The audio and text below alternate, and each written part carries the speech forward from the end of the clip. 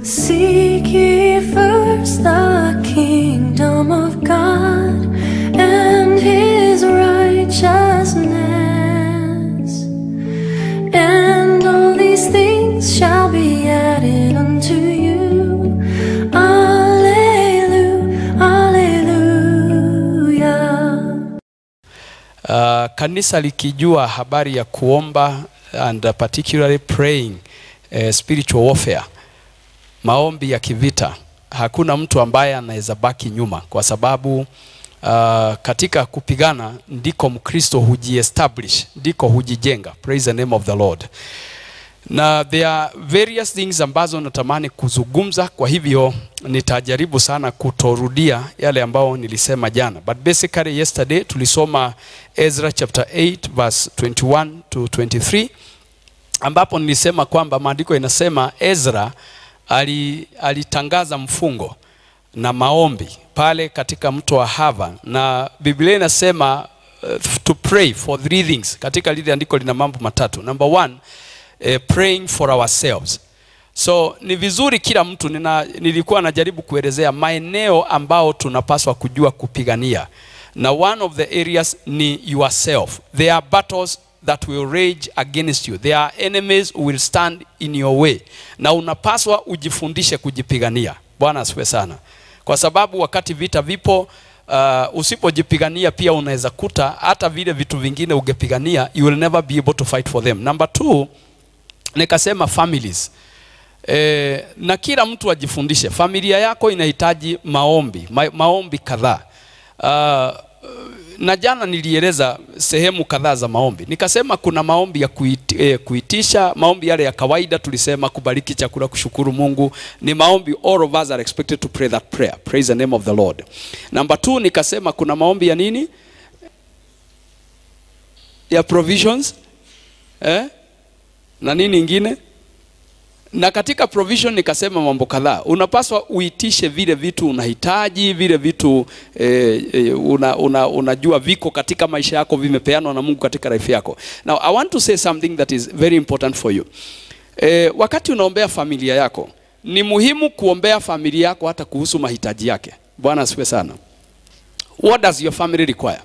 Pray for those things na please tuache kuassume ya kwamba kuna kitu Mungu atatupatia bila kuomba. I usually say this. Prayer is a principle. And the principles do not change and they do not care who you are. Maombi ni kanuni na haibadiliki na haibagui, haitaki kujua wewe ni nani. So concerning prayer, Yesu akafundisha akasema Matthew 7 verse 7, ombeni nanyi mtapewa. So in other words, if you read in reverse tukasema msipoomba come on, ikiwa tukiomba tutapewa, tusipoomba? Hatutapewa. Kwa hivyo mtu ajifundishe ya kwamba mahitaji ya familia yako, wengine hata hii mtoto unaona umeshika firstborn ambaye ni kunyonya ananyonya, pray about his education, pray about the destiny ambao atakwenda, because that's how you start to build. Praise the name of the Lord. Itisha pesa za shule, itisha karo, hata kama hujaanza kulipa hata shilingi moja. Bwana Yesu asifiwe. Kuna watu wengi hawana, Biblia inasema hivyo, kwa sababu hawakufanya nini? Hawakuomba. Sio mimi ninasema, ni Biblia. You don't have because you didn't, you didn't ask. So yeyote ambaye haombi, kuna vitu ambavyo utatamani huko mbele, na uli, ulikuwa na nafasi ya kuomba, sasa haukuomba. Ulikuwa na nafasi ya kuzungumzia Mungu bila mambo mengi, lakini haukuomba. Jina la Bwana libarikiwe. Msichana, omba sasa kuhusu maisha yako ya beleni huu wakati hauna mtoto anakulilia, omba vile utakuwa. Omba wakati kutakuwa na mambo. Omba katika maisha yako kule mbele, because right now you have the time, you have the grace. Lakini utafika mahali Njoroge analia hapa na Wailimu anaitisha mkate pande hii. Amen. Ndio unajikuta mahali ambapo hushikanishi, network haigii vizuri, haishiki. Sasa unakuta mtu anafika mahali anasema, "Oi, niejereka kuhoyo last week but one." Niliomba last week but one, niliomba last month. Na si kupenda hapendi maombi, ni situation vile zilivyo. Praise the name of the Lord. I, I'll never forget when uh, I came to full time ministry. We had a lot of time. I didn't have responsibilities kama zile niko nazo. Uh, right now I oversee some churches. They are pastors under me.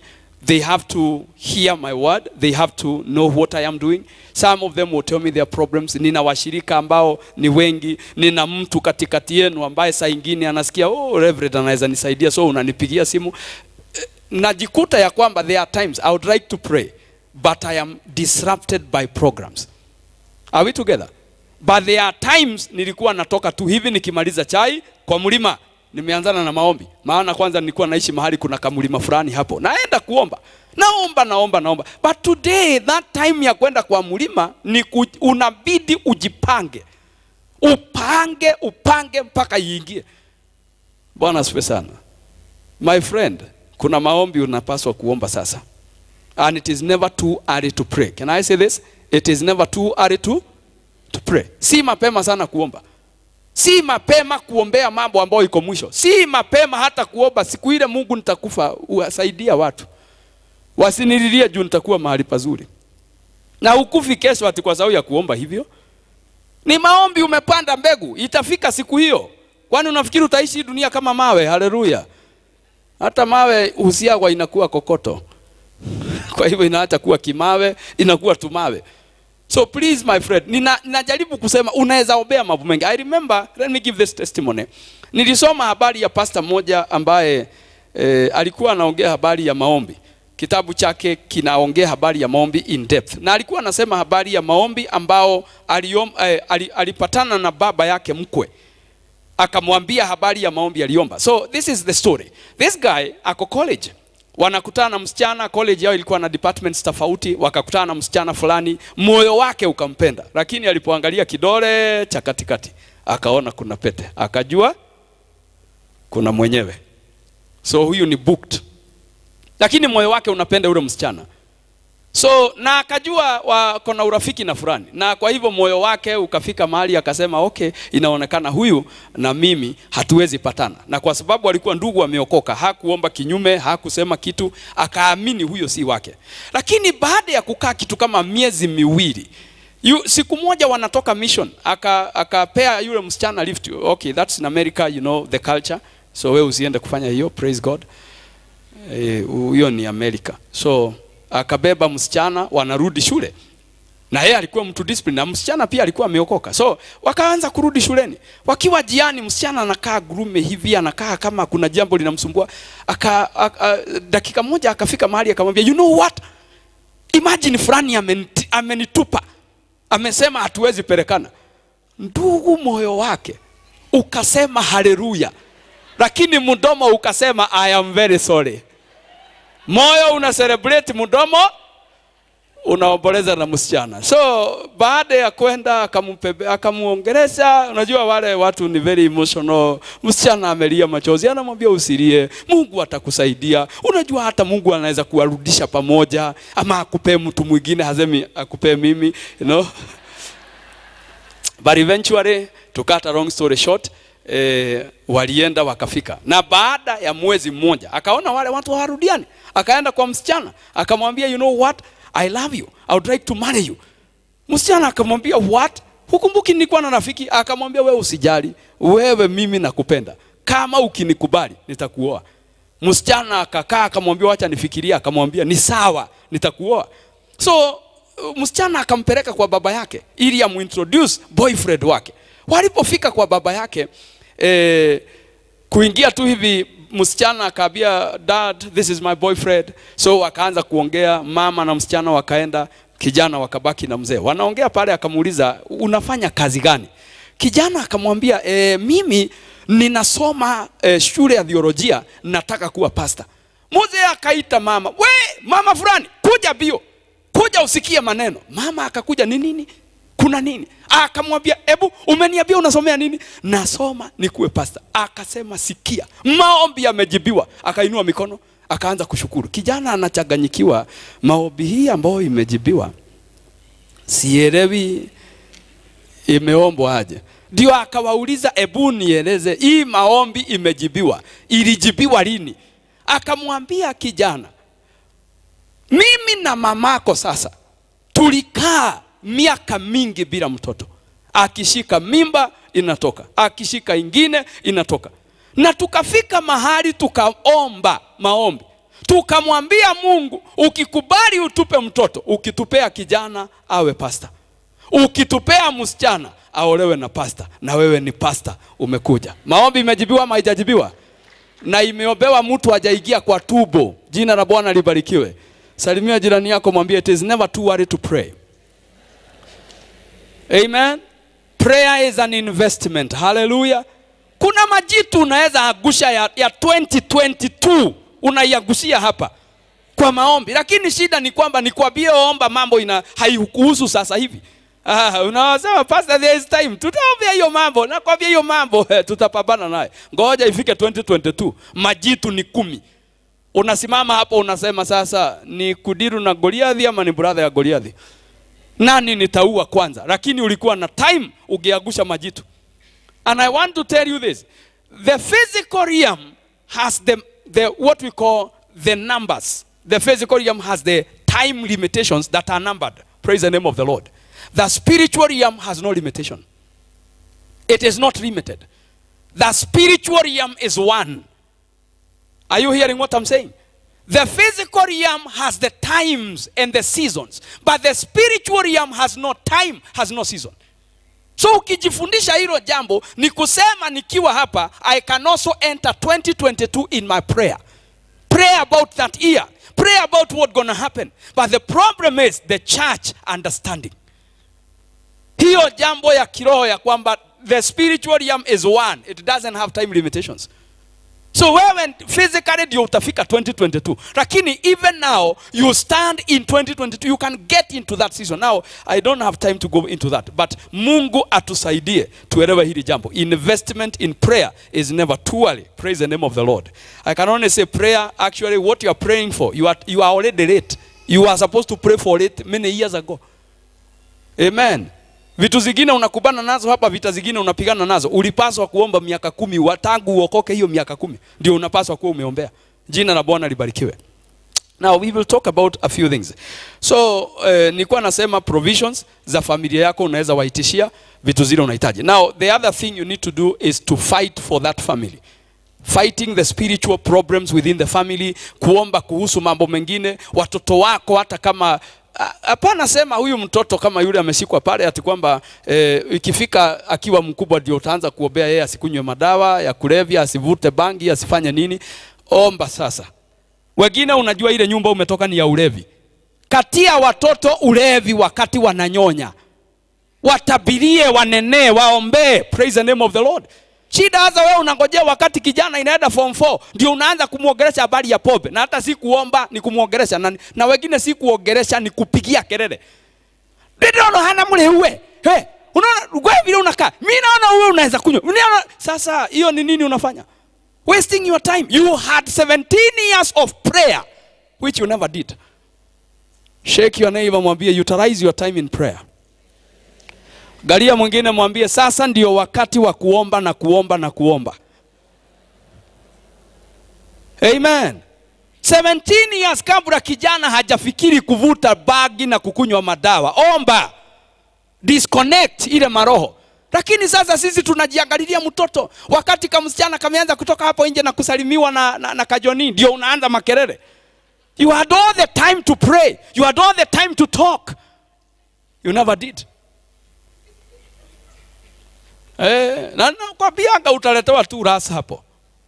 Na anakuja anakwambia madhe hata akuangalii vizuri ana. Jo amevuta akuwekea mkono. Unasikia kichwa ikienda opposite. Unaanza kusema hii ni shetani. Si shetani ulimpatia shetani miaka mingi nafasi. The bible says job would rise every morning and pray for his family early in the morning. He was not waiting for the evening but early in the morning. Na hakuna siku ayubu alisema watoto hawa ni wazima wajipange. Aliwapanga. Glory be to god. Na naona hiyo inawatia wasiwasi wacha tu wachana naye. Mume waste time.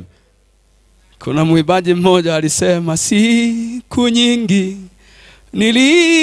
nilizitupa zingerudi siku zile ningempa mokozi wangu ningemtumikia. Ukisikia akisema siku nyingi zilizopita nilitupa kama ningejua ningempea bwana wakati huo. Kama ningejua ningeomba hiyo miaka. Sasa sikujua niliangalia watoto mtu amefikisha meno thate tu ndio unajaribu kuleta hapa kwa madhabahu.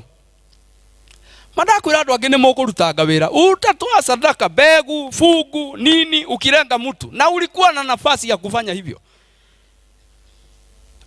Praise the name of the lord. Haleluya kwani nimeongea kitu mzito? Na let me recommend some actions ambazo ningetamani watu washike kuna kitu katika eh, spiritual realm. Inaitwa the, the now what do I call the times and the seasons that are set by God. Praise the name of the Lord. Na ambazo katika ulimwengu wa kiroho hureflect kwa mfano ningetaka mshike kuna majira na nyakati za kupeleka watoto kwa Mungu. Are we together? One is immediately the child is born. Wacha na, na kuna wakati nilifundisha hilo jambo hapa immediately the child is born wacha kukaa wacha kuweka mtoto mpaka a, a, a, a, a, anajua kuogea. Ndio unapeleka kwa kanisa unasema hey, ndio unekarane hile kamekuwa kakubwa. Mtoto ashashika maroho ashashika ulimwengu ndio unaleta kwa mungu. Lakini ulikuwa na time. Wewe uende uangalie katika Biblia, mtoto alipelekwa kijana alipelekwa siku ya ngapi? Ya nane mtoto hata kama ni msichana kama ni kifungua mimba kama alikuwa anahitaji sadaka zile zinatolewa siku zikipita analetwa anatolewa sadaka zile anatolewa. Praise the name of the lord. So at after birth mtoto anapaswa kuombewa. Number two age 3 miaka mitatu. Miaka mitatu ndio mtu ameacha kunyonya hiyo ndio umre umri unasikia samueli alipelekwa kwa hekaru huyo mtu anaweza abiwa enda ukojoe huko wacha kukojoa hapa. Ameanza kushika akili. Ameanza kushika maele, ma, eh, maelezo ya maisha. So that's a time ambao unapaswa kujifunza na nawafundisha hii kwa sababu this is a strategy of spiritual warfare. Fighting for your children. Take them to the altar. Miaka tatu ikifika pereka yeye. Seven years is another junction. Peleka yeye kwa madhabahu Wa, na muache ku, kuangalia hii mambo kama tu mambo tudogo. Hii huku ndiko kanisa ilipotezea kila kitu, maana sisi ni wa kiroho na neema. We are just trusting in the grace of God. Oh, hallelujah. God is merciful. You are merciful. Enda uangalie walimwengu wanaojua ulimwengu vile ufanya kazi, usikize mastori ndio utaelewa. Sisi ni wajinga, wao ni werevu, mambo ya kiroho. Miaka saba ikifika, peleka mtoto kwa madhabahu mudedicate kwa Mungu. Miaka saba ndio wakati mtu hufika age of reasoning. Miaka tatu it is the age of learning. Number seven is the time of reasoning. Mtu ameanza kushika mazuri, mabaya, kile kinastahili kufanywa, kisichostahili kufanywa. Age 12 peleka yeye kwa madhabahu. At 12. Why? That is the age. Munasoma vizuri kwa Biblia. Yesu alienda akawachwa hekaruni, akawa na hekima iliyotisha watu wengine. That is the age of wisdom. Wakati hekima huanza kujengeka. Remember there is understanding and there is wisdom. Wisdom huanzia katika miaka kumi na miwili, ndio knowledge ya, ya mambo, ufahamu mzuri unatokea. From there you will wait until the age 17 to 18. Unapeleka mtoto tena unampeleka sasa, ile ndio hapo unamtengenezea barabara ya ulimwengu wake. The other thing I would like you to note, katika miaka kumi na nane all, all this time you are taking the child to the altar uh, you are supposed to speak a word, unene neno unampeleka mtoto na sadaka, na sadaka sio lazima iwe elfu mia moja elfu ishirini inaweza kuwa kile umebarikiwa nacho na Mungu, umfikishe kwa Mungu. Are we together? Na kuna mateaching zimekuja hivi karibuni ambazo zinapinga habari ya matoleo, habari ya watu kupeana. Oh, Yesu alijitolea. Wakati mtu anatoa ni kusema haamini sacrifice ya Yesu. Yesu kwa sababu yeye ndiye alikuwa sacrifice. Kwa nini alitolewa sacrifice? Alipofika kwa madhabahu, umesoma katika Luka, alipelekwa na sadaka zinazokubalika. Kwa hivyo aliye sadaka bado alipelekwa na sadaka. Is a principle. Praise the name of the Lord. So I don't want to go into those details. Lakini unaenda unanena. Katika miaka kumi na nane uelewe hapo ndipo mzazi na mtoto usually huanza kutengana ile ya milele. Kutengana ya milele ni kusema mtoto atachukua barabara ya maisha yake peke yake. Ni mtu mzima atapata kitambulisho atajiamulia raifu yake kule inakwenda. At that juncture kama hizi tatu za kwanza zilikuruka hauna njia ya kurekebisha kitu It's only by the grace of God if something will happen. Because you had the time na hiyo ndio period nitakwambia my interval hizo nimekupea ndio miaka ya kuomba. Mwaka wa kuzaliwa hadi kufikisha miaka tatu. Ombea mtu ya kwamba bwana msaidie mdisconnect na family yao mtoe katika nyumba yao. Ukifika katika miaka tatu learning. Ombea habari ya akili kufunguka ombea mtoto kushika mambo yanayostahili. Ombea yeye asipate hekima ya dunia itakayomwongoza katika mabaya. Ashike hekima ya mungu itakayompeleka katika mema. Praise the name of the lord. Naona wasichana wanashidwa ni ya nini hii tunaambiwa sau hawana mtoto. Wewe shukuru mungu unasikia ukiwa hivyo. Mimi nikiwa mhubiri mambo mengine nimejua watoto wangu wengine wakiwa watu wazima. Ndio ninaelewa i had a season i had a time but i never did praise the name of the lord. So ombea mtoto at from age 3 from age 7 unamuombea understanding. Ufahamu wake. That god there will be understanding knowledge. Yani ile unaanza kupata hekima kubaini mabaya mazuri. Asaidiwe. At age 12 kwenda mbele mpaka 17 unaombea mtoto kupata the wisdom ile ambayo inahitajika katika life. Wisdom ya kuishi kujua wasichana wazuri wasichana wabaya wanaume wale ambao wanatega mtu na pesa wanawake ambao wanatega mtu na mili yao. Umwombee hekima hiyo. Uombe ya kwamba akikutana na wale wanauza bangi hatanunua atawajua atajitenga. And that is why I'm saying this is warfare. Praise the name of the Lord. You cannot leave the, your, your family for the sake of it. Mungu atasaidia. Huyu mtoto ulimuleta kwa madhabahu mara moja. Haitoshi. Ombea yeye fuatilia katika jina la yesu. Bwana asifiwe sana. Sasa nimekwama mahali pa jana lakini hiyo information imekusaidia. So at age 25 ndio age ile naweza sema ya kwamba ya mwisho. Na this one can be done between age 20, 23 to 25 mtu yule ni mzima. Sasa amefika mahali ambapo anaweza oa anaweza olewa. Na muache uoga. Ita kijana. Weka yeye hapo. Pika chakula. Mkimaliza kukula mwambie kuja mwanangu omba ya kwamba mungu huyu mtu amefika mahali sasa anaweza oa. Mwache aibu. Huyu mtu ataoa tu. Ama utaletewa kasire queen hapo. Utaona maajabu. Madhe unasema unajaribu kusema ate. Lakini umeletewa kwa sababu haukuomba haukusema chochote na wakati umefika wake wa kuoa lakini wewe ni muoga unasema unajua si mimi nitamchagulia. Chagua kwa maombi. Praise the name of the lord. Sema bwana naomba. Kama huu akitoka hivi fuga macho wakati mtu mbaya anapita. Fugua wakati mzuri anapita. Kwani maombi ni hasara? Utaenda. Hebu tigiza neiba umuulize ni hasara gani utapata ukiomba maombi hiyo? E, na umwambie kama kuna hasara nitalipa hiyo.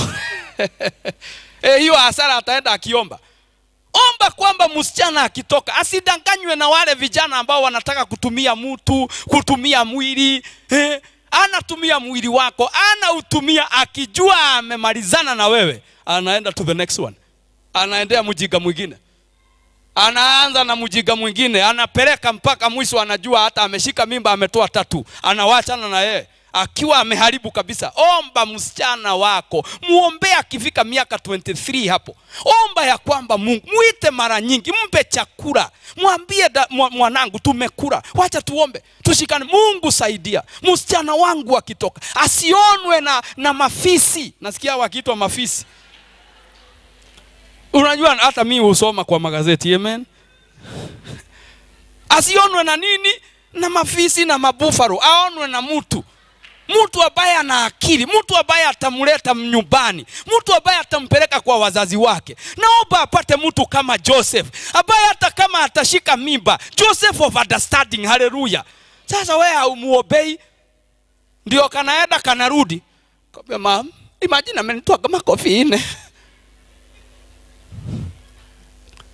Na wewe ile mzuri unaweza fanya ni kuambia unaona gwa thogu ahuraga baba yako alikuwa ananitwaga hivyo hauku disconnect msichana at the right time at the right at the prime of life. Praise the name of the lord. Kuna mtu anasaidika? Mungu awabariki. Na hiyo hiyo age nimewapea muifuatilie. Ni muhimu sana. Wewe msichana umeokoka ukiwa hujafika hiyo miaka na pengine mzazi hana hiyo understanding. Unaweza jireta kwa madhabahu. Abia mtumishi niombee kuhusu maisha yangu ya kuolewa. Na muache aibu wasichana lakini kama utaki kuolewa wewe umeitwa na mwito kama ya paulo. Sawa usilete mwili hapa. Ka. Lakini kama umeitwa na mwito unasikia ndani yako unaweza taka kuolewa. Tokea ota kwa ingine na ingine. Kai kwe hadhara uguthie E, na ukitokea hapa hapa naambia mhubiri niko tu nahitaji. Asema nataka kuolewa. Omba amen. Na wewe mhubiri ukiambiwa uombe unaomba kabisa seriously na unatangaza na uba mume na washiria kwa jera mahali amefugiwa release. Chukua aenda nyumbani. Amen. Wacha kamsichana kaolewe kashukuru mungu miaka yote. Praise the name of the lord. So those are things ambazo i wish ningekuwa na jia ya kuelezea kwa udani vizuri. Are we together? So na hata wakati tumefika mtu ameshaolewa kuna ages ambazo you factor in when you are mature. Kuna age ya dhate age ya dhate ndio mtu huingia katika destiny yake. So in that is wale ambao ujagonga dhate omba mungu kuhusu maisha yako.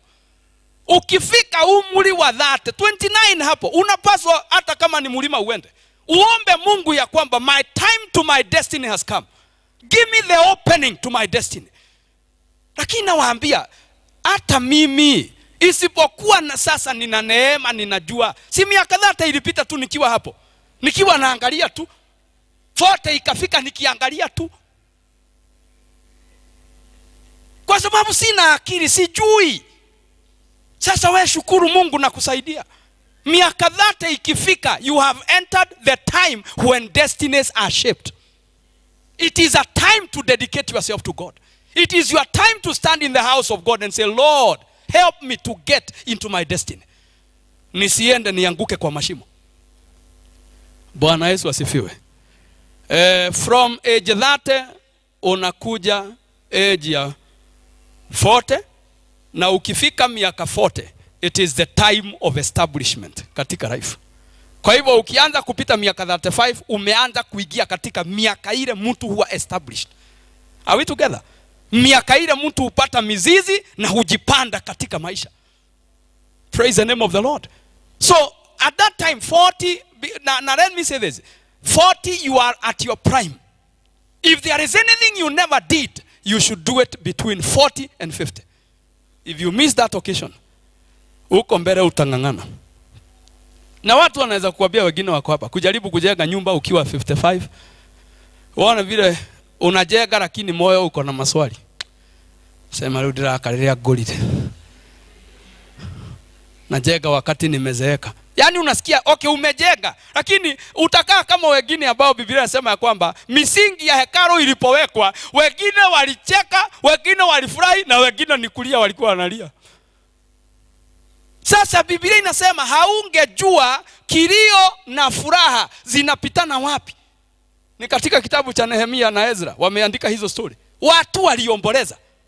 I, I believe that this should be in ezra no, in nehemiah sorry. Praise the name of the lord. Ndiye anaeleza vizuri walilia mahali yanasema ya kwamba the joy of the lord is, is my strength.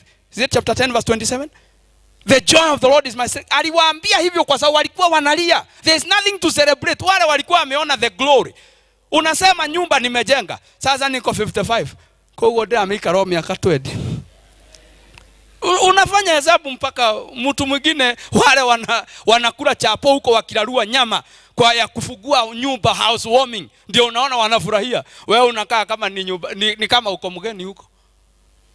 Ginyoka gegeara Una, na ni nyumba yako ni wewe umejenga na pesa yako lakini wakati umeijenga it is not at your prime. Praise the name of the lord. So there is a time of establishment between 40 to 50 55 there ile wakati unaona government inasema you retire. Isipokuwa saa hizi wameongeza miaka wakaweka ingine tano ya kusubua mtu. Praise the name of the lord. Ukifika 55 enda nyumbani enda ukafanye shughuli zingine. Hey, tuachane na hiyo mambo. Kuna mtu anasema pastor niache pesa. Kaa kwa pesa. E, tulikuwa tumesema uombee family, uombee pia nini? Upiganie family, upiganie resources. Resources is an area ambayo inahitaji vita, na sasa e, sina muda wa kueleza zaidi.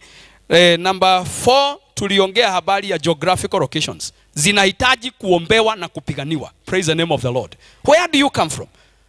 What kind of people live there?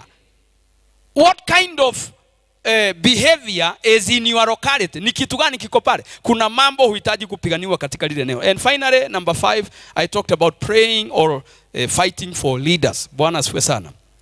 Now, eh, nataka tuingie katika eneo ambalo nitasoma mstari mmoja kidogo and then we shall get into another dimension ambao nataka sasa kuanza kudiru na maeneo ya kivita ambao tunapaswa kupigana na understanding. Let's go back to the book of Ephesians chapter 6. And, uh, sijui nilikuwa naangalia mistari iliyo hapo juu kutoka verse 1 mpaka verse, verse 9.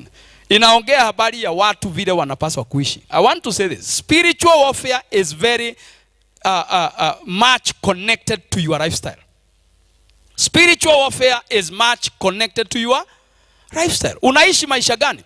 There is a life unaweza kuwa unaishi, you would want to overcome the kingdom of the devil, but your character will bring you down. Tabia ile umejiwekea, shetani ndio atatumia kukuzuia kumshinda.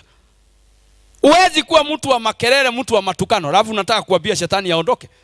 Ni lazima ujifundishe, uelewe vile unapigana. Jina la Bwana libarikiwe umevaa nini ukitazama katika lile neno ambalo tunasoma e, inasema habari ya kwamba uh, verse 10 hatimaye mzidi kuwa hodari katika bwana na katika uwezo wa nguvu zake. Kuna kitu ambao sijui kama nitaweza kuwa, kuwaambia e, e, baadaye lakini ningetaka kusema hivi. Mtu yeyote ambaye anapigana vita vya kiroho number one rely on god. Umtegemee bwana. Si nguvu zako zinashinda shetani. Hili jambo linakuambia mambo mawili. Relationship yako na mungu must be right before you begin to fight.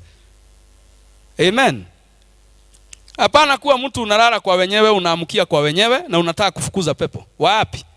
Hazitakwenda. Uliza wana wa skefa ambao walijaribu kuzifukuza. Ziliwaambia yesu tunamjua vizuri paulo tunamuelewa nyinyi hatuna rekodi yenu hapa. Kuhusu kufukuzwa nyinyi hamwezi kutufukuza.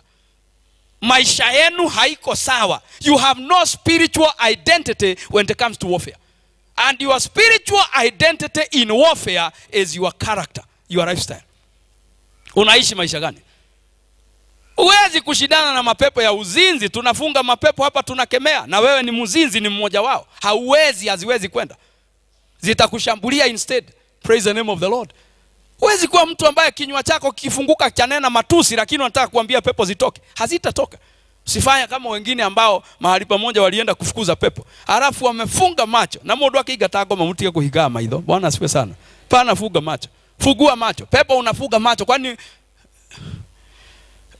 saa si kuomba unaomba hii ni kukemea. Kemea vizuri. Fugua macho uone.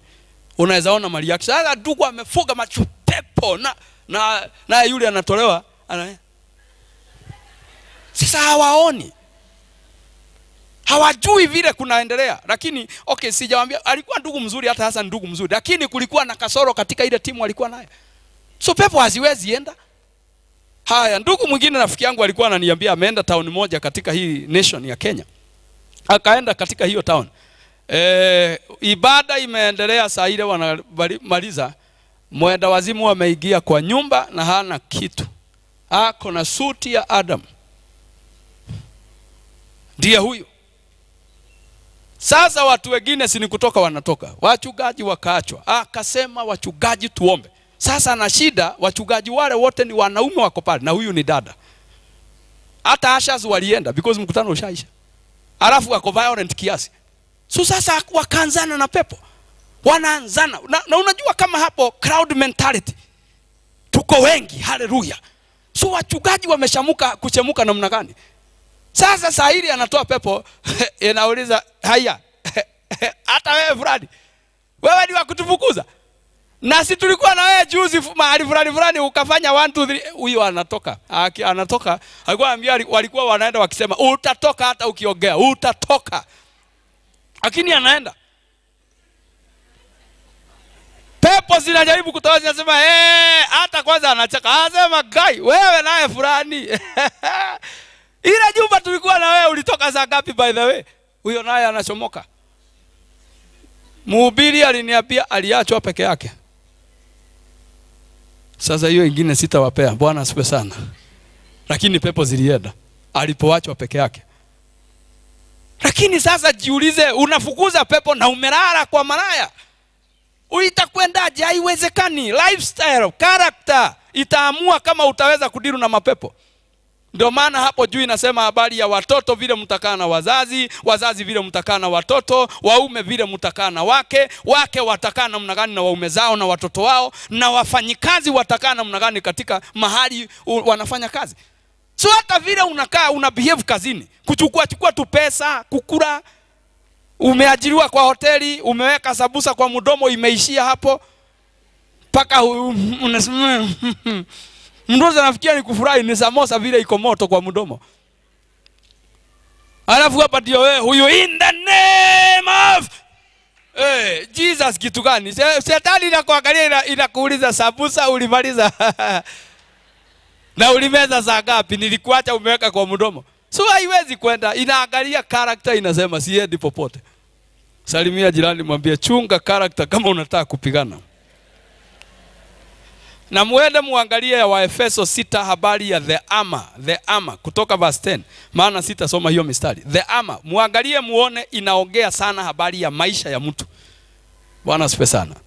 Can we give our offerings in the presence of god as we continue with the word father we thank you for our offerings. Biblia inasema mtu asije kwako mikono mitupu. Nasi tumebeba sadaka zetu ambazo twatoa mbele zako. E bwana twaomba zikubalike machoni pako. Katika jina la baba la mwana roho mtakatifu twaomba na kuamini.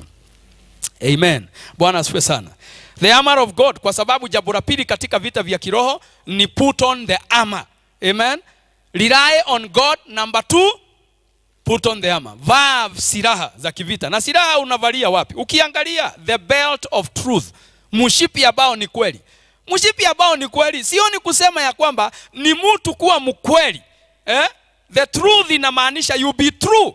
You don't live a double life. Na unataka kupigana na shetani mtu ambaye anakuona kanisani anaona dada. Bwana sifiwe haleluya. Nimeokoka naenda biguni mpaka unajirefusha kuonyesha vile unaenda biguni ni kupanda unapanda si kuteremuka naenda biguni kwa njia ya kuamini na kutubu na kunyenyekea. Nimeamua kama ibrahimu nitafuata kama inoko. Sisimamishwi kama jakubu nitamenyana naye. Unatupea baibu mzima lakini ngoja utoke pale. Wale unafanya biashara na wao ndio wanakujua vile wewe ni mkali ni sumu. Unakaa kama uko na meno ile ya nyoka. Ikiuma mtu amekwisha. Lakini kwa kanisa ndio wewe uko hapa ni wewe bwana ni wewe peke yako. Hakuna mwingine. Hiyo wewe si mkweli. Maisha yako ya kanisani na ya kazini ni tofauti. Hauwezi pigana. Nitakupea tu example ingine moja. Niseme hivi eh, kitu kingine ambacho unapaswa kujifutia ni kujua ukweli. So you be true and you also know the truth. The truth is a word. Now eh, ya pili silaha ya pili ni the breastplate of righteousness. Righteousness ni, kus, ni kutenda kilicho haki. Kutenda kilicho haki ni kusema hata wakati tunadiru na wewe hata wakati umekosewa unafanya jambo lililo haki. You don't just misbehave. Just because at you are offended. Praise the name of the lord. Eh? Hivyo ndivyo ulinifanyia. Ni sawa. Tutaonana. Na wewe una, una lenga yako unafanya kitu. So mumefanyana. Huyu amekufanya na wewe umemfanyia. Huyu amekutenda ukamtendea. Alafu unasimama mbele za bwana ku, ama unasimama mbele ya mashetani kuifunga. Hautaiweza. Karakta yako iko na flow iko na kasoro. Praise the name of the lord. Eh, helmet. Helmet ni nini? Ni wokovu. Wokovu ni kusema namna gani? Minding about living like a born again. Uishi kama mtu aliyeokoka. Kaa kama mtu amjuae mungu. Tembea kama mtu anayejua mungu. You don't need a supervisor in your life. Praise the name of the lord. Mahali unafanyia kazi you don't need a supervisor. Like now let me tell you this. If, even if there was no pastor here pastor daniel was not here the apostle and the reverend were not here i would not change my preaching because of them. Because they are not here because i don't need a supervisor. I need to be under the supervision of god. That is righteousness. Hallelujah. sio ati kwamba kwa sababu aposto hayuko sasa ninajua hayuko. Sasa ninawalenga ninawaitisha sadaka hapa. Na ninasema iwekelewe hapa. Weka katikati ya Biblia, weka weka weka. Halafu unafunga kabaibu unafunga na nyororo. Umeenda. Wewe ni mkora. Wewe hautakuwa na nafasi. Jina la bwana libarikiwe na kuna jambo nimekuwa nikiambia watu mimi nina uhakika nitahubiri miaka mingi. Na hakuna mahali siwezi kwenda. Kwa sababu ya kitu kimoja i made my lifestyle. I made my salvation. I don't need the pastor to be there for me to do what is right. I preach what is right. Amen? Na hata kule nimewahi kwenda unafanyiwa madharau. Huwezi fanya madharau. Wewe si wa madharau. Wewe ni mtu tofauti. You don't misbehave ati kwa sababu walikupea giribiri wameweka kwa basa na wakaifuga na walikupea ukiwa kwa gari na wewe unasema ngoja nitarudi huko. Nitawaonyesha. Unamwambia nipagie ingine. Na wewe unapanga unapanga vile utanyorosha yeye. Unanyorosha washirika unanyoa manyoya na unatoa ngozi. Unaenda naye. Na unamwambia mungu amesema hiyo sadaka isiguzwe hata isifuguliwe ikiwa eria hii. Ifuguliwe baada ya kupanda kinogi hiyo ni kusema ni wewe utaenda na kwa maana huyu aendi kupanda kinogi bwana asiwe sana. Yaani una make sure umefanya na ni hasira ume ume hiyo hiyo ni kukosa righteousness. Nao mungu atawasaidia. Nao leo nataka kuongea habari ya kitu kimoja ambacho kwa sababu tunaongea habari ya vita katika maombi. Praise the name of the lord. Vita katika maombi. Let's turn to the book of numbers.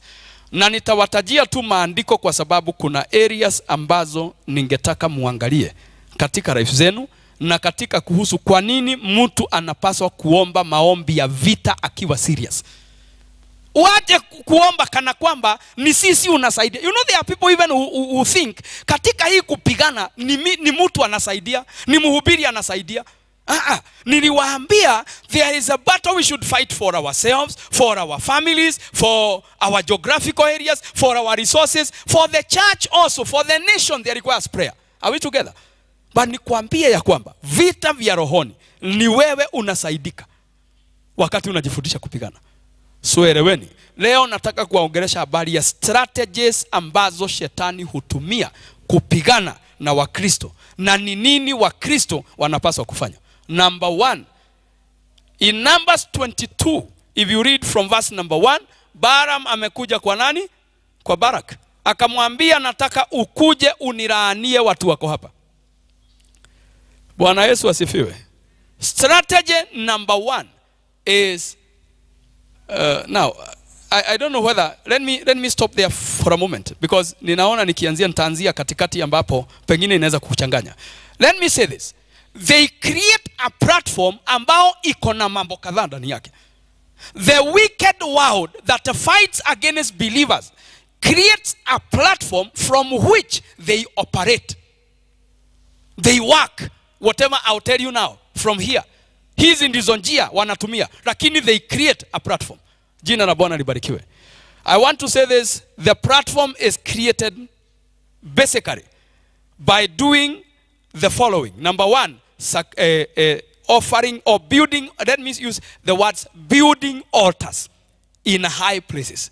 Kujenga madhabahu katika mahali pa juu. Bwana yesu asifiwe sana. Na nataka kuambia hivi madhabahu ni kitu cha ajabu kwa sababu inaweza kosa kuwa kitu physical. Kwa hivyo hutaiona. You might never come across the altars ambazo tunaongea but they are there. They are usually there. And I'll, I'll, talk about a few things ambazo zinaweza kuwak ama zinaweza fanywa katika habari hizo. But basically when they build altars they are areas ambazo ningetaka uangalia so this is the number one ambao nilikuwa nataka kuzungumzia. Nikaona nikianza kabla sijaweka hiyo utakosea ama utakosa kushika. Number one they sacrifice against the people of god.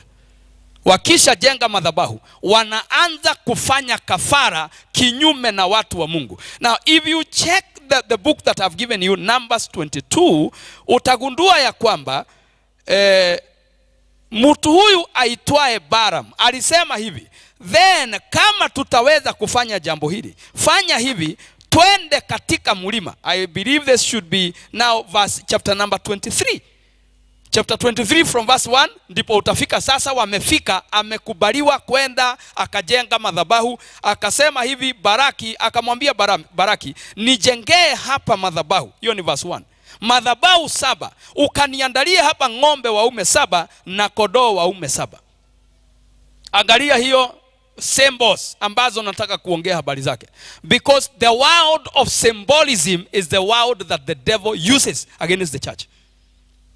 And the devil is very keen on symbolism because ulimwengu wa rohoni unaelewa habari ya mifano habari ya kitu badala badala ya uchukue huyu mwanaume uue yeye. Chukua kitu ingine uue. Badala yake. Badala ya uchukue mtoto utoe kama kafara. Chukua kitu ingine utoe kama kafara. Praise the name of the lord. So I, i want to tell you this. The realm of the spiritual is a world of symbolism. Ni ulimwengu wa mifano. Ujifundishe hili jambo mungu akusaidie. Leo sitaweza kwenda very deep into mifano lakini kesho ukija utasikia mengi kuhusu mifano ambao nitatoa. So ninasema hivi wanajifundisha kujenga madhabahu na juu ya madhabahu kitu cha kwanza wanafanya ni nini? Ni kusacrifice. And every believer should be conscious of these things because they do happen. Jina la bwana libarikiwe. They do happen. Every now and then they do happen wanafanya hiyo mambo ili kufunga ili kuzuia ili kuzuilia watu wa mungu. Na sacrifices nitasema kuna sacrifice aina mbili. Sacrifice ya kwanza ni ile inafanywa eh, nje ya watu wa mungu. Nje. Nje ninamaanisha kwamba you are not allowed to participate. Nobody will invite you nobody will tell you it is going on hakuna mtu atakwambia lakini itakuweko na hizi vitu mungu awasaidie. Wa hivyo mmenyamaza i hope hamjanyamaza kwa kutoelewa. Nikusikiliza. Mnashika hiyo ninasema. Na mkumbuke nimesema inatumia nini? Symbolism. So sacrifice hizi kuna kitu inasimamia. Kuna kitu imerenga.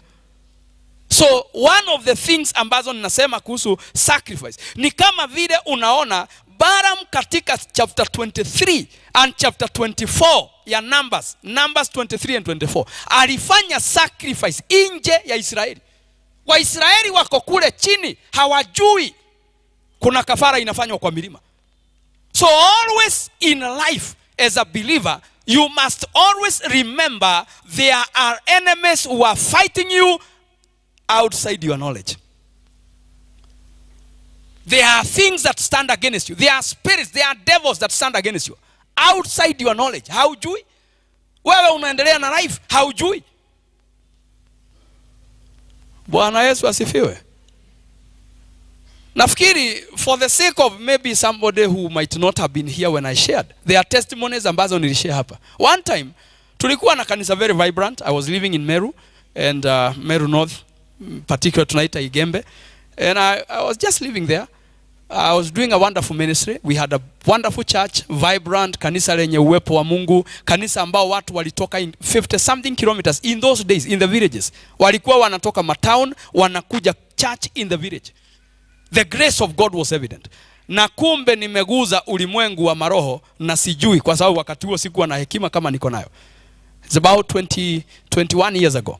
So sikuwa najua mambo ambayo ninajua sikuwa nimewahi sikia mtu akifundisha spiritual warfare na wakati nilipata opportunity ya kujua spiritual warfare eh, kitabu nilipewa cha Rebecca Brown nilirudishia mtu nikamwambia sisomagi vitu kama hizi mtu anakaa akisema hapo shetani angasijui akamwambia eh, shetani akampinga huyu ndiye akona shida sio shetani You know, mimi nilikuwa nasimama na 2 Corinthians chapter 5 verse 17. Mambo yote ni mapya. Ya kale yamefanya nini? Sasa mimi auge niwaambia habari ya pepo. Pepo tunaulizana nini naye? Where? Tunaigiliana aje? So kumbe mimi ni mjinga. Sielewi. Siku moja tukata long story short. Nilitoka kwa nyumba. Na nikatoka kwa nyumba tulikuwa na crusade. Na nje ya kanisa, okay tulikuwa tumekodi tu kanyumba. Uh, kwa hivyo ilikuwa nyumba kubwa, ilikuwa imejengwa duka we mahali pagetosha watu mia mbili hamsini hivi. So eh, upande wa nje kulikuwa na uwanja na ndipo tulikuwa tunafanya crusade. So nikaambia vijana waende watengeneze jukwaa. Wa, na nikajiambia maana sijaona, wacha nitoke nione jukwaa vile imefanywa. So nikatoka. Kutoka nikasikia kelele. Kelele hizi ni nyimbo.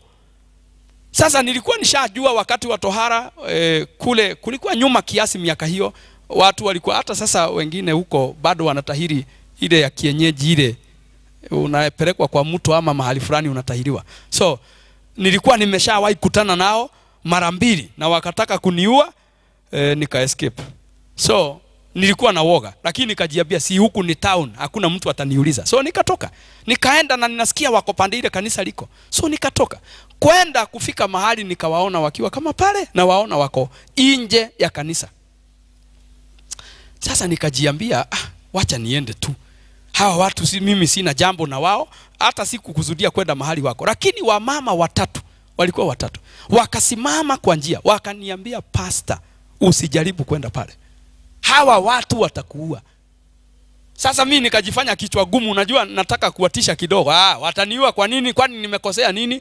Ah, wacha niende. Wamama wakafunga njia kabisa. Wakaniambia huwezi kwenda pale. Hawa watu ni wanyama watakuua nikasema okay sawa wacha mi nipitie hapa basi niende shughuli zingine. Waliponiona wakaimba nyimbo. Wakati huo sikuwa na, naelewa kimeru singejua ni nini wanasema. Wakaimba nyimbo ambazo sikusikia ni nini wamesema. So mi nikatoka nikapita nikaenda kwa familia ingine. E, baadaye wakati nisikia kumetulia nikaja.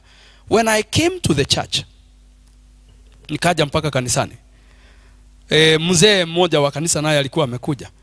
Nikakuta kwa kila mlango wa kanisa kumetahiriwa mtu. Ilikuwa na milango mitatu. Na I'm giving these stories because unajua watu wengine hapa tukiongea habari ya hii mambo kuna mtu anafunga moyo anasema ah hiyo pastor haina nihusu nini by the way. Tunaulizana nini na shetani? Sikiza vizuri. Kwa kila mlango kulitahiriwa sijui kama ni mtu mmoja sijui kama ni wangapi wakatahiri kwa kila mlango. Sasa sisi tulikuta damu huko nyembe walizotumia vitu zingine hapo. So na sisi mimi na yule mzee kwa ujinga maana nawaambia mungu ni mwema wewe unasikia haya mambo pengine hujakubana na chochote. Kwa ujinga wetu kitu tulifanya ni kuchukua takataka zile zilikuwa pale kuosha pale tukaosha kwa sababu mimi nilijifundisha kutoa kitambo kufanya mambo yote ambayo unaweza fanya. And again there was nobody else there. So tukafagia pale tukaosha tukatupa takataka kwa choo na tukamalizana. I want to tell you this. From that time kanisa lilokuwa vibrant likaanza kwenda hivi. From that time I, I have not noticed. Lakini nimeona watu wameshikwa na strange spirit. Ni wa, workers wa kanisa na wapea kazi. Wananiambia pastor wacha nipumzike kidogo. Naambia mwingine wewe basi ongoza ibada sande ananiambia pastor mi sitaki kuongoza sasa. Nasikia tu nikae hivyo. Sijashika chochote bado. Mwishowe kukatokea hata confusion prophecy za uongo nini zikaleta shida sana kwa kanisa.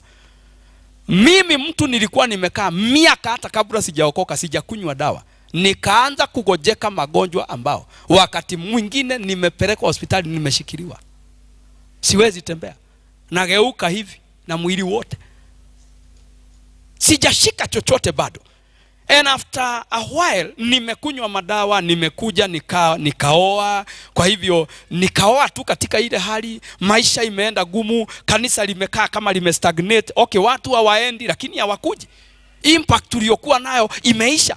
Kurusedi ile uh, to, to bring you into attention pale mwanzo vyombo vilichomeka kwa ule uwanja you know wale ambao kama hapa kuna mtu ametoka igembe ama tigani ataelewa vile nasema. Njoli pale na tohara hiyo wewe unaelewa vile kunakuwa so wapendwa eh, nimegojeka nimefika mahali nikaoa nikazidi kuwa mgonjwa nikakunywa madawa siponi. Siku moja nikasema kama mtu hukufa wacha nikufe. Nikachukua dawa zote nikapeleka nikatupa kwa choo na nikaambia mke wangu simezi dawa. Kama kuna mungu atanihurumia mimi nimekunywa dawa nikiwa nimekufa anti, eh, nimefunga antibiotics. We are fasting and i must take the medication. Nimekunywa hainiafanyi chochote there is no, no side effects but siponi. Yaani maisha imekuwa ngumu nyumba imekuwa ngumu fedha hakuna there is nothing. Mwishowe wakati nilienda mahali pamoja tulikuwa tunaenda maombi kwa, ma, kwa mapango nikaenda tukaomba mungu akaniambia leave this place and go to such and such a place. Huo ndio wakati nilihama meru nikaenda Ruiru, so nikakaa 10 years after ndio mungu siku moja alikuja kwangu. Akaniuliza nilipokuambia utoke meru did you understand why? Nikamwambia sijui. Akaniambia because unaweza kumbuka siku hiyo ulipopita baada ya kufagia ulipopita unakumbuka mzee fulani ulikuta amesimama mahali na alikuuliza swali moja mara tatu. Aliniuliza huyu mzee aliponiona alikuwa anaitwa Ntwarimba alikufa uh, akaniuliza pasta uko hai? Nikamwambia si ndio. Unajua nilifikiri labda ni mchezo tu anacheza ama kitu. Akaniuliza pasta uko hai? He? nikamwambia hey, niko sawa akaniuliza mara ya tatu pasta kweli uko hai? Nikamwambia hebu mzee keti. Nieleze vile unataka kusema. Akaniambia watu wale hawaimbi zile nyimbo unless ukawa wamekuua. Mungu akaniambia niliona haujui haukuelewa ulichoambiwa. Ibada na kafara ilifanywa to kill you. So i lived eight good years in a grave spiritual grave which i didn't understand. Kaburi ya kiroho. Umezikwa maisha yangu nikaanza kuona inadidimia vitu nilikuwa nafanya kwa urahisi naona vimedidimia. Maisha yangu huduma nini nasikia mtu mdhaifu. Mwili ukawa mnyonge maisha ikawa ngumu. Kumbe kaburi ilichimbwa na nikazikwa. Na pale ni kweli palikuwa na kile kitu kimefanywa. I'm trying to teach you the world of symbolism. So my friend nikisema pigana kunaweza fanywa kitu haujui.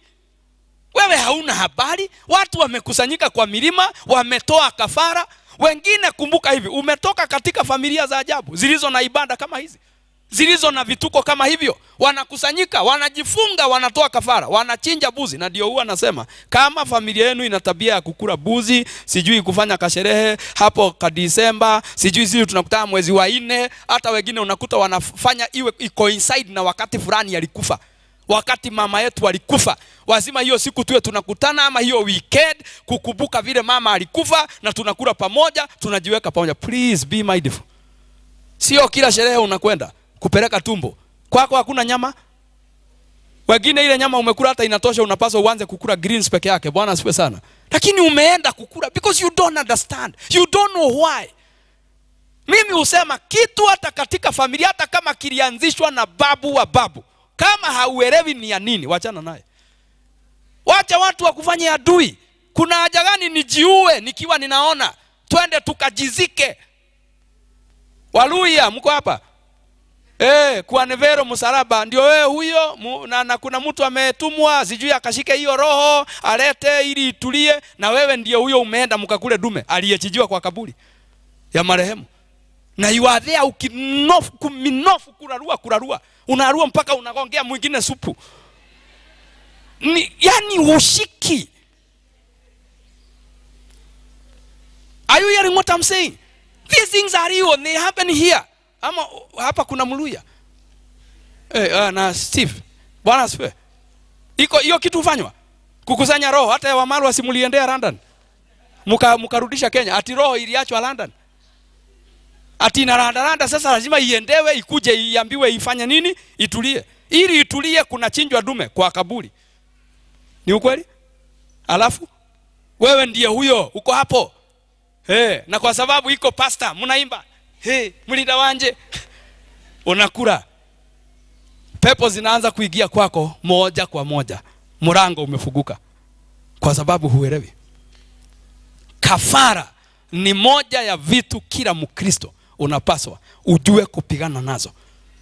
Maana hufanywa na ninasema zingine hauju haujui.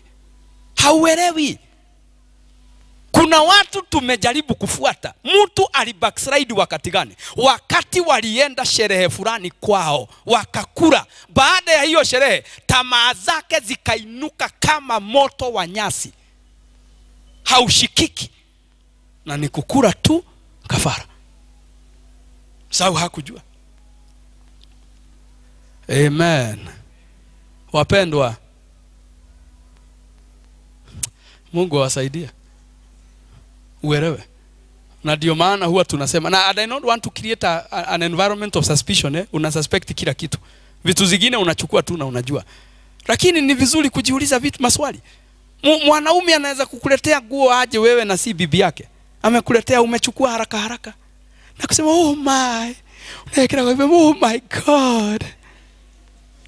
Kutoka hapo unakuwa kama kama roho ya Jezebeli na ya nani eh? huyo mwingine na ya maraya imekuigia, haushikiki. Ukikutana na yote akikwambia tupige kona, unamtagulia, unamwambia tuende hivi. Najua mahali watu huigia na si kupenda, ni kitu kimefanywa. Umepewa vitu ambazo nitakufundisha vinaitwa familia objects. Kwanza uonyeshe Mungu njia yako ya kutamani kutubu na ili akusaidia. Tuinue mikono yetu mbele za Bwana, kila mmoja uingie katika kujipigania. Kama kuna dhambi ya kutubu ama jambo linalokuhukumu katika maisha, sio lazima iwe hiyo nimetaja, jambo linakuhukumu. Now everybody ingia katika spiritual realm. Nimekuambia hiyo haina distance. Tangazia kafara kila mabaram, kila makuhani wa gizani ambao wamejenga madhabahu kinyume cha maisha yako, kinyume cha familia yako, kinyume cha biashara yako, anza kuangusha katika jina la Yesu Kristo. Let us, let us not be ignorant. Israeli wamekaa kule chini na kuna mtu anawaroga kule kwa milima. Sisi hatutatulia, hatutanyamaza, hatutajifanya, hatutajifanya kwamba tu, hatujui, tunajua.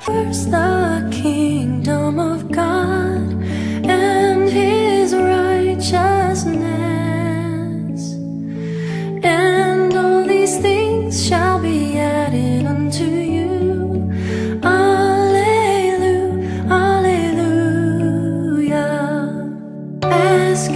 生